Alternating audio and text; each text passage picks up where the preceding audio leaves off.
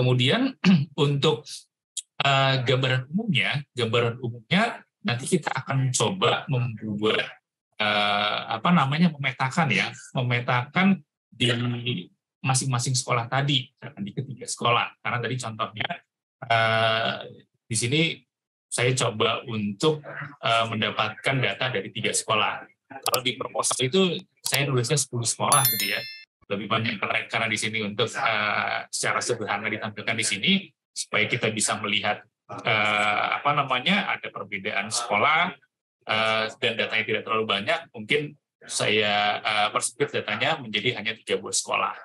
Nah kemudian uh, bicara mengenai sikap terhadap transgender, kemudian peran gender orang tua, peran gender guru, peran gender teman, teman sebaya, ini uh, secara umum sebenarnya bisa bisa dikategorikan menjadi uh, dua nih. Karena gender itu kan ada yang ada yang ya egaliter, ada yang tidak. Nah, Oke, jadi ada ada yang apa namanya uh, yang yang tidak itu kan dia cenderung uh, apa namanya uh, lebih mengedepankan gender tertentu dibandingkan dengan gender yang yang satunya. Jadi uh, di sini saya uh, kita coba untuk mengkategorikan uh, hal ini ke dalam uh, dua kelompok egaliter dan tradisional. Egaliter itu dia yang setara, tradisional yang tidak setara. Ini ini sekedar konsep uh, aja nih, konsep yang yang digunakan oleh peneliti. Kalau nanti mau menggunakan konsep yang lain juga boleh silahkan. Kemudian uh, karena nanti kita mau membangun suatu uh, apa namanya model regresi, maka kita juga akan coba untuk melihat keterkaitan hubungan antara masing-masing variabel x-nya, variabel uh, apa namanya variabel bebasnya terhadap variabel perikatnya atau variabel uh, independen uh, independennya yaitu sikap terhadap peran gender. Jadi nanti kita kita bisa membuat cross tabulasi seperti ini. Kuesionernya contohnya saya membuat kuesionernya sebenarnya sederhana ya. Jadi kalau kita bicara mengenai uh, apa namanya variabel uh, sikap, kemudian peran dan sebagainya, itu kan variabel yang laten, tidak bisa diukur secara secara langsung. Makanya di situ nanti kita akan coba uh, menggali informasi yang bisa uh, menilai peran-peran tadi atau menilai sikap-sikap tadi yang nantinya dari dari sekumpulan pernyataan tadi bisa kita hitung sebagai suatu nilai indeks yang dia mencerminkan sikapnya seperti apa atau peran dia seperti apa dan sebagainya. Nah di dalam kuesionernya ini uh, ini terdiri dari uh, beberapa blok. Blok yang pertama ini terkait dengan identitas responden.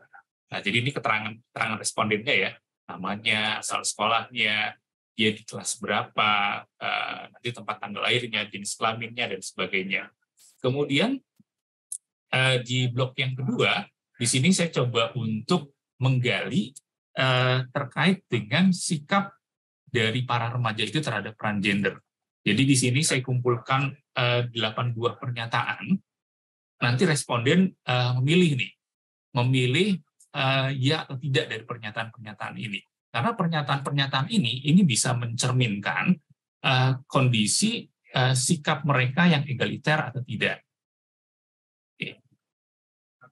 Nah, sama juga di blok ketiga, uh, di sini saya coba untuk menggali informasi mengenai peran gender orang tua di dalam melakukan kegiatan rumah tangga.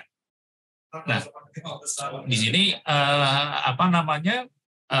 Contohnya saya coba coba menyusun ada 10 buah kegiatan apakah 10 buah kegiatan itu hanya dilakukan oleh ayahnya saja, oleh ibunya saja, atau oleh keduanya.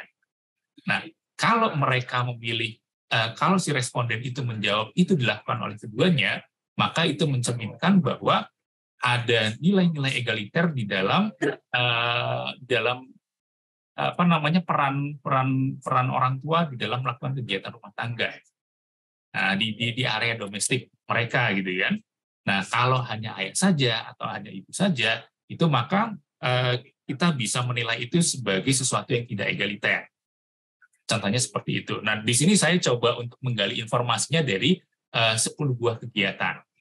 Nah, kemudian eh, blok berikutnya, ini eh, sikap terhadap peran gender dari guru di sekolah. Sama juga ini ada ada ada enam item pernyataan di mana masing-masing item ini nanti bisa terlihat eh, apa namanya si guru di sekolah itu dia itu egaliter atau tidak. Nah, uh, saya nggak akan membahas satu-satu ininya ya, ini, ini sekilas saja karena kan nanti kita akan lebih banyak bagaimana cara mengolah datanya. Nah, kemudian yang berikutnya ini terkait dengan peran gender dari teman sebaya nih. Sama juga di sini saya coba untuk uh, mengumpulkan uh, empat pernyataan dari uh, dari uh, yang terkait dengan teman-teman si responden tadi. Nah, ini pernyataan-pernyataan uh, ini ini juga sebenarnya mencerminkan kondisi yang egaliter atau tidak.